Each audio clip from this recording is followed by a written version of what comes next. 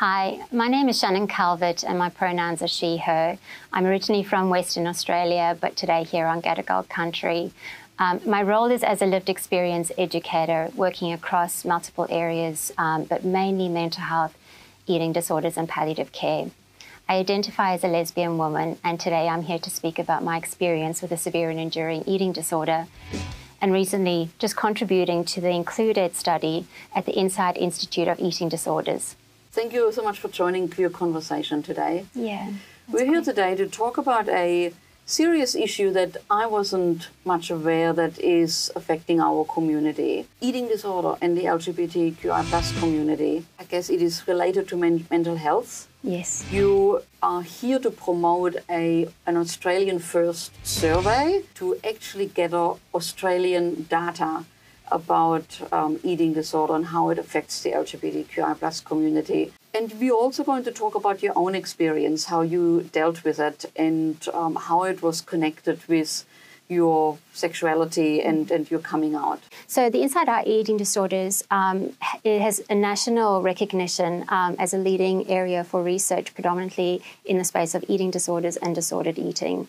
So they're constantly keeping um, up to um, date with um, you know past research, previous research, but also considering future opportunities for research as well. Not only do that they, they provide significant amount of resources for the community as well, but also to support clinicians and researchers and emerging researchers in that space to understand the lying and underlying causes of eating disorders and how it impacts the community um, eating disorders uh, significantly impact probably 1.25 million Australians.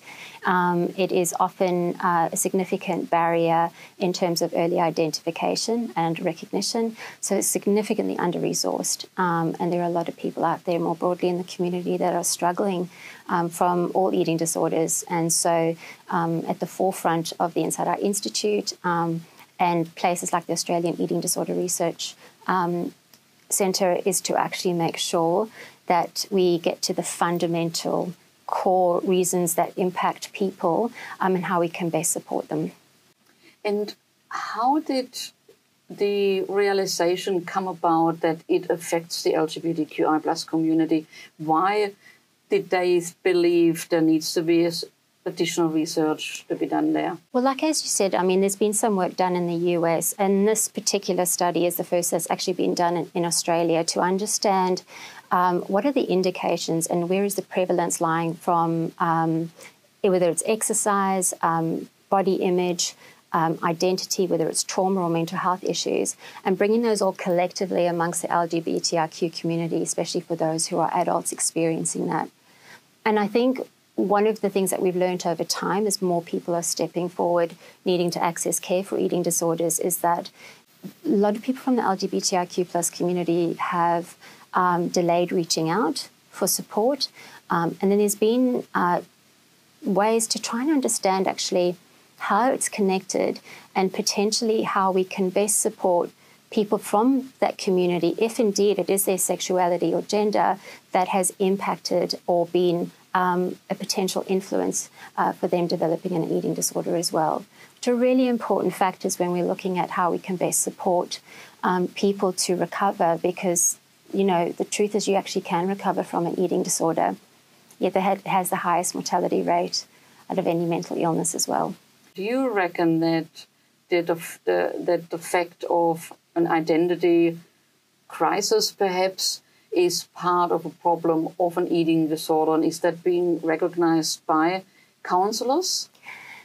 Some, yes. Um, I think it's really important that um, those in whether health professionals or those that are actually working with people in the community need to be accountable to understand eating disorders more it goes so much more beyond and are deep, often deeply entrenched um, than what we believe eating disorders to be on the surface, which is often related to image, um, dieting, uh, and food related or body image issues. It's really critical to understand how eating disorders impact people, where the potential influences lie. So I think if you step into the space of having a counselor or a psychologist or GP not have done that work to fully understand eating disorders more broadly, it's they often go undiagnosed um, or inaccurately supported, which unfortunately it's like a revolving door for people um, accessing or going in and out of treatment. So I do think that there are some people that fully understand that there is a lot more to be said and that there are some influences and indicators of what causes it. But I would also say there's a lot out there that don't quite understand it. And I think we are biased, you know, um, and it's actually recognizing those bias um, to best support people and, and look at a whole of person rather than their diagnosis. And am I right to say that it's particularly an issue for transgender people? That is, in terms of the, the data around that, um, it is a significant indicator and is definitely prevalent now, especially amongst really young people. And, you know, as someone that um, is not transgender or had, has always had to deal with, with, um, with that myself, I could only imagine how traumatic it must be trying to experience something that you're fully connected to but feel totally disconnected from. And um, so I think with eating disorders, again, it hasn't so much been around the vanity aspect, but more the trying to control um, a connection with your body that ultimately at the end of the day you don't have control over. But you know, when we do diet or we try to change our shape, whether it's through exercise or you know what we eat, um, that's how we understand uh, manipulating our bodies in the community. So it's understandable that children and young people feel that by doing that, they could potentially, you know, influence their bodies to look differently. And you you did say you were you were happy to share your story yeah. with the community. So you've been diagnosed with an eating disorder at the young age of Gosh, 13? Yeah, so I was officially diagnosed at 13, but I would probably say I started to have issues with my relationship with my body from about the age of 10. I had not ever thought of the connection with my eating disorder in relation to my sexuality. So for me, being able to have this conversation and to contribute to this piece of work has come genuinely and authentically because as I've done that, um, there's been so many self realizations in my recovery that I'm deeply grateful for. But I had no idea throughout that experience that there was potentially even a connection to my sexuality and how that was impacting my possibility to even recover from my eating disorder, but also an underlying influence, I think, um, in terms of what needs my eating disorder was meeting, which I think in a lot of ways was to disconnect from recognizing that, you know, I had different needs, that I was potentially queer, that um, I think there was also that deep fear of what would that mean if how people perceived me would potentially change. And a sad reality is a lot of people in the LGBTIQ plus community have experienced significant amounts of discrimination, trauma, denial of care and treatment, um, serious mental health issues, and as someone that's experienced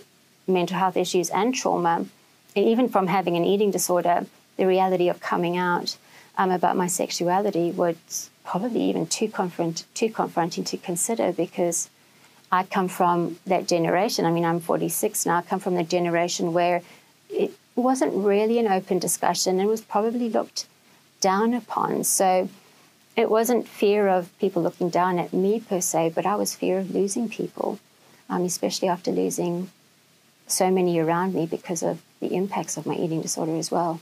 I guess this is why I've asked before if you think that um, health professionals are um, trained of considering this issue because if you as a person who has experienced this you didn't even you know it wasn't even in, in in your thinking process like well you make sense actually and even even just reflecting on on what i've just shared I think that that's such a good point, though, because for me, even throughout the 30 years of intervention and probably really invasive traumatic experiences, I don't think my sexuality was ever brought up, or the potential um, recognition that that was going to be an important part of me. Um, nor was gender rec- recognition ever brought up.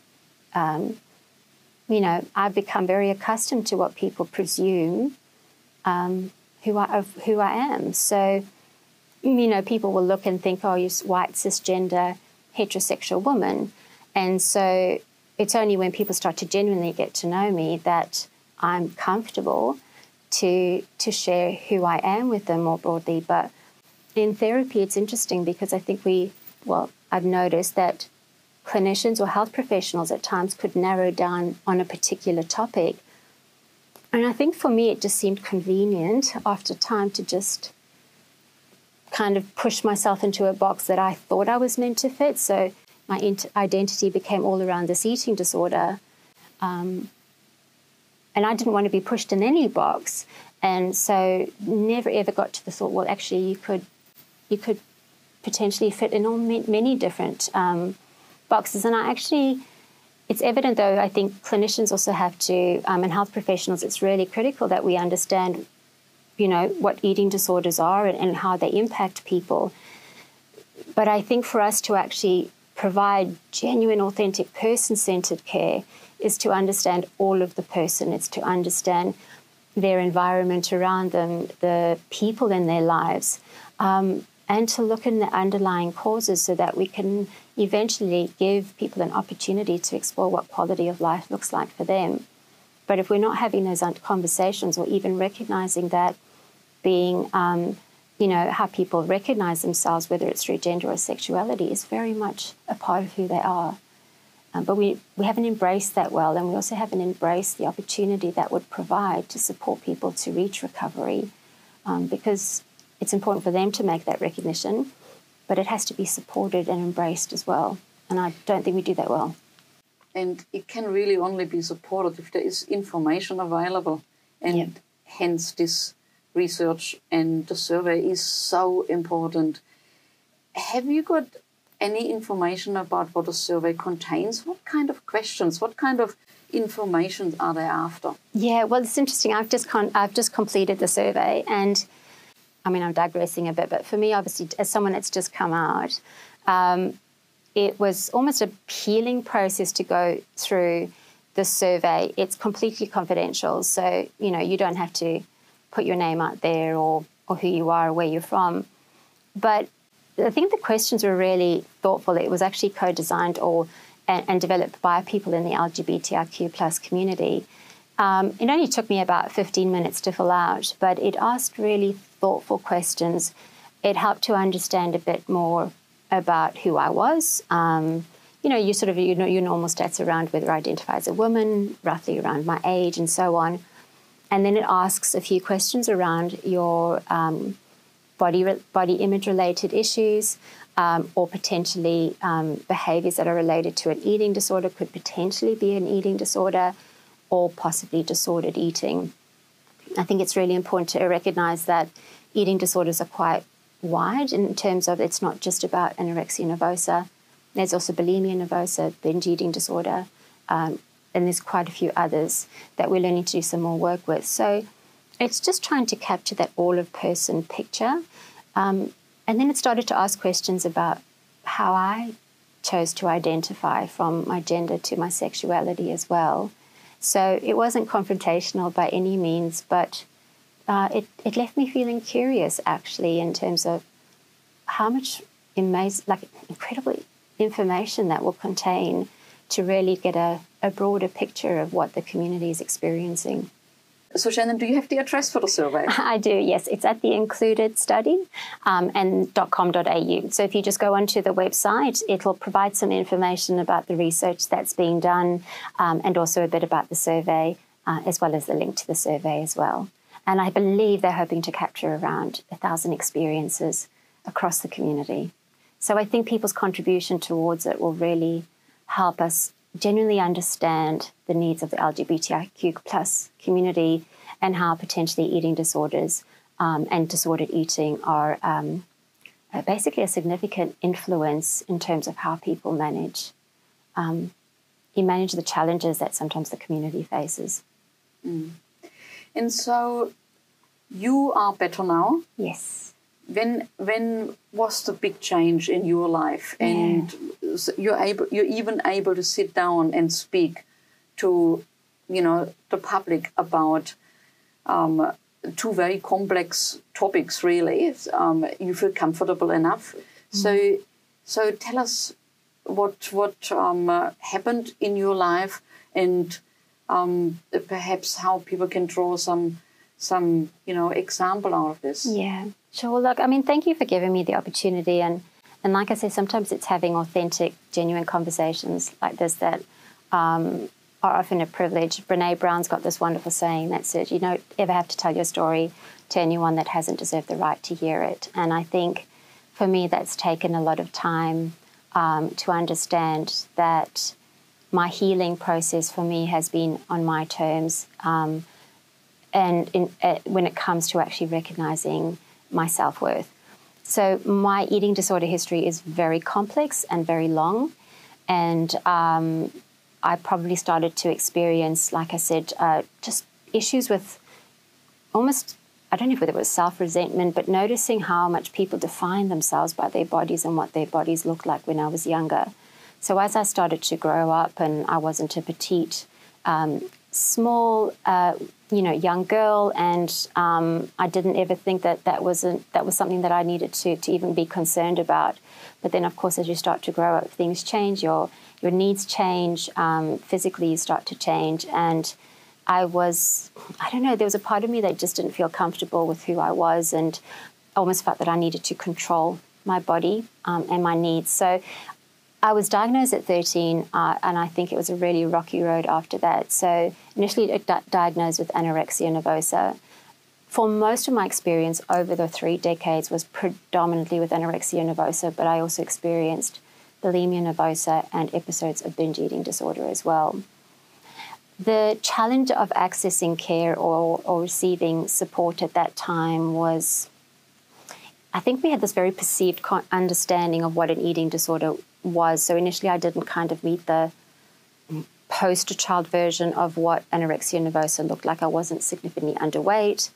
Um, and I hadn't displayed behaviors that people perceived eating disorders to to um, to actually um, follow through with. And so, I I guess my my treatment initially was quite confronting and short lived, and then um, I realized over time I ended up going in and out of hospital, uh, in and out of psychologists' offices. Um, I was told that I was treatment resistant because the type of care that I was receiving wasn't necessarily supporting um, my needs. And I think I like to believe that people were doing the best they could with what they understood at the time.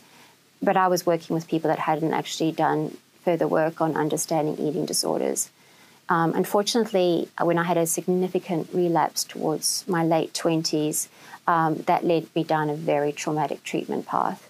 So I was in and out of um, mental health units and hospitals um, to the point where probably around my mid 30s, my mother, who was my um, who was my most um, profound person in my life, but also an incredible support in my life, um, went through a lot of trauma having to experience me basically dying in front of her.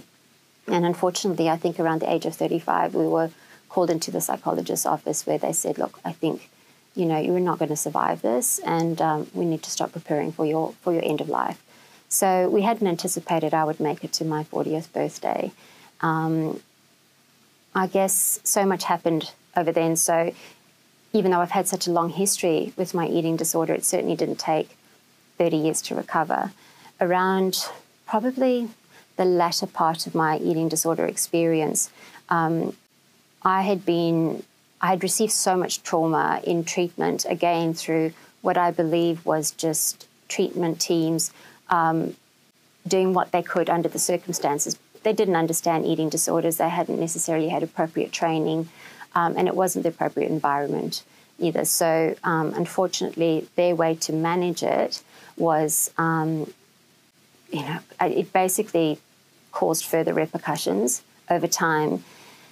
Eventually, I started to see a psychologist that had done further training and understanding of eating disorders. But alongside that, I ended up working with a more of a multidisciplinary team, which is a wonderful opportunity to work with different specialties, but people that can on, almost capture all of your needs rather than just one part. Um, and in this particular instance, um, they were people trying to understand more, but it was probably the compassion that I think and the patience that came with um, accepting um, my needs, but then also recognizing that because I'd had such a long history, it was going to take some time. Having that compassion in comparison to quite a punitive approach, I think there was a history of people believing eating disorders were a choice, that I was purposely doing this to myself because I wanted to lose weight and be thin and look good, um, to all of a sudden actually having people that understood that there was so many underlying factors. So that compassion, I think, planted a really important seed for me um, towards my recovery, which certainly doesn't happen overnight. It takes a lot of work. And can I tell you that recovering over the age of 40 is tricky, especially when there's all these other adult things we have to fig- figure about ourselves, including our sexuality. Um, but it was a starting point and something that um, I desperately needed to have survived this. And I think all the work that I've had to do after that has been something that I've embraced and certainly don't regret, um, as challenging as it's been. I think the other reason, though, that drove me to do the work that I do now as a lived experience educator is if we look at the broader system, um, mental health is significantly fragmented uh, in terms of people accessing care and finding important pathways to meet their needs. But eating disorders, more than probably most, is significantly under resourced, um, underfunded, and the demand for eating disorder treatment, specialized treatment now, is much higher than it has been ever before. And um, the way for people to have an opportunity to recover is early intervention and identification. So, um, which is why the survey is so important as well, is just to see whether contributing factors could be potentially be as well for the LGBTIQ plus community. The sooner we can support someone or recognise the eating disorder, they won't have to go down a, a road like I've been. And when I experienced this compassionate approach to care and genuinely um, believing in people that wanted to understand and know more, I thought we've got to do things differently. We can do things differently. And so for me, my recovery was a bit of an eye for an eye. I thought I'm going to expose eating disorders as much as I possibly can because I know we can do better in the community. What advice could you give to somebody who's listening today and they're isolated? They don't know where to go. Yeah. I so understand that isolation and I think I think there's so much fear behind that because we know how people have been treated in the past um, we know that the LGBTIQ plus community, for example, has been um, marginalized in ways they should never have been. But then we come to the stigma and understanding around eating disorders, and many people will still think that it's influenced by body image and vanity alone. The reality is, is there are some really good people out there, dedicated people that are saying no, actually that's not the case, and they believe that we need to understand more about people. We need to meet people where they're at. We need to meet people's needs. But most importantly, support people that are struggling in this isolation, that are staying away because they're so fearful of what people are going to think. Um, I genuinely and wholeheartedly believe we're in a safer place and time to come out now. Come out with your experience, whether it's with mental ill health and eating disorders. And I hope that people can embrace their sexuality. I I know that we've all had different journeys and experiences, and I've only done this much later.